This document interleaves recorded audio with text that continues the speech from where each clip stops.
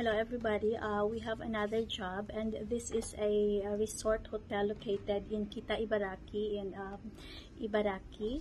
Uh, we need uh, two people for this. This is a hotel staff so uh, we need two um, hotel front office and two housekeeping. So this is scheduled for interview on April 22 uh, that would be sa uh, Saturday. So uh, the salary for this would be from 200,000 to 230,000 and there would be um, bonus also for this job. So if you are willing to apply for this job, this is scheduled for interview on uh, April 22 at our uh, main office in Tokyo at Kanda Station. So if you want to apply for this job, uh, please comment down below or you can also call our office number at 03620680058 or we do have um, everyday job fair and interview in our main office. So if you uh, ask you can ask for more jobs. Uh, we have um, many jobs uh, scheduled for interview every day.